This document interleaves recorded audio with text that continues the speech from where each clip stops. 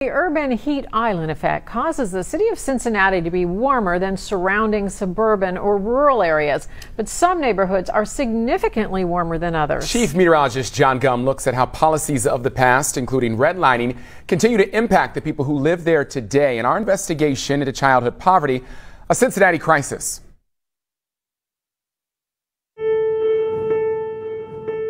For the first time ever, we have measurements, over 80,000 of them to be exact, detailing where the warmest neighborhoods are within Cincinnati. So, this was a really great example of citizen science. You know, we had 17 volunteers driving 11 different routes throughout the city, uh, both in the morning, the midday, and in evening, taking real data Climate is a large part of Michael Forrester's focus as the director of the Office of Environment and Sustainability for the city of Cincinnati.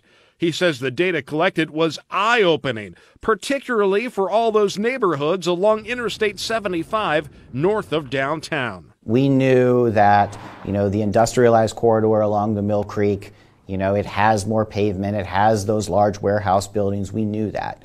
But we, we hadn't seen it we hadn't seen how those choices that the city has made over uh, a long period of time, um, how that modifies the environment that people live in. Then there's how large the actual difference in temperature is between the city's hottest and coolest neighborhoods. You know, we did record a 12 degree difference. And that's staggering. That's a huge amount. Yeah, that's is. a huge amount.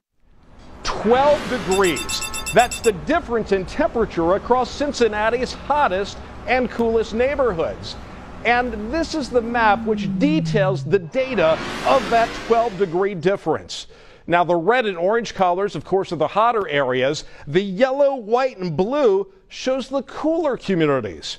Among Cincinnati's cooler neighborhoods, Columbia Tusculum, Kennedy Heights, Linwood, Mount Airy, and Mount Lookout.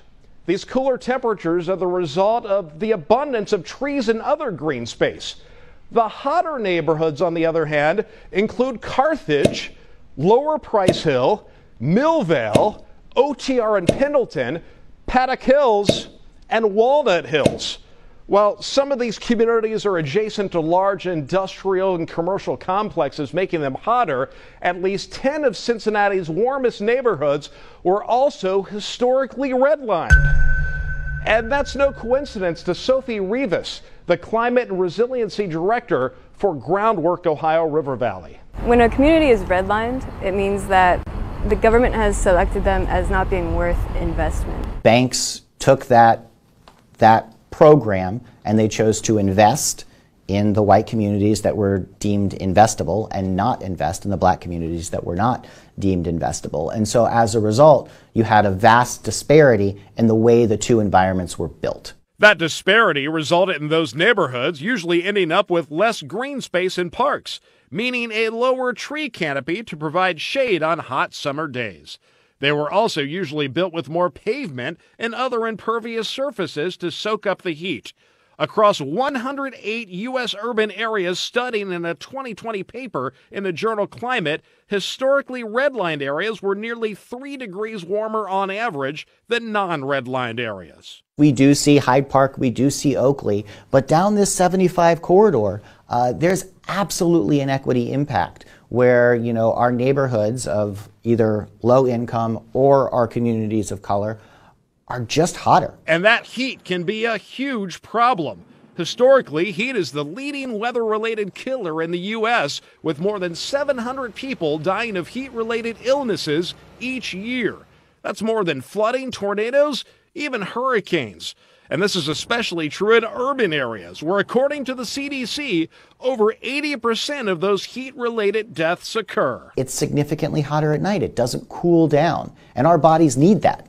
Our bodies need that cool down period because if you're exposed to that prolonged heat, that's when you start to have those health issues. And we've got that data up on local12.com. You can look at the maps of the neighborhoods, review that data and that complete report. And it's also at cincinnatipoverty.com. We've got a separate web address for that. But it's fascinating when you look at this information because we know intuitively that the city is going to be hotter than outlying areas. What Right. we don't realize, there are sections of the city that are significantly cooler. Mount Airy Forest, obviously, the reason why Mount Airy is one of the cooler areas. We found that Westwood, which was a redlined area historically, is actually a cooler neighborhood as well because of the environment out there and all the trees and green space that surrounds it. So there are different variables here that go into it. Hyde Park, parts of Hyde Park, one of the coolest areas in Cincinnati, but you go to the northern side of Hyde Park between uh, Oakley and Hyde Yeah. Park, that is extremely hot. There are pockets of heat in Oakley and Hyde Park as well. So this is fascinating stuff. I invite you to go online and check out the interesting. latest. It's not just one or two degrees. You said 12 degrees. That's the part Yeah, that's between the hottest and coolest areas, and again, that's average from morning through the afternoon and evening across three different time periods. Right. It is cool Well, good stuff. job. You did. I mean, those graphics and everything. Thank, Thank you. you. Thank, Yeah. let's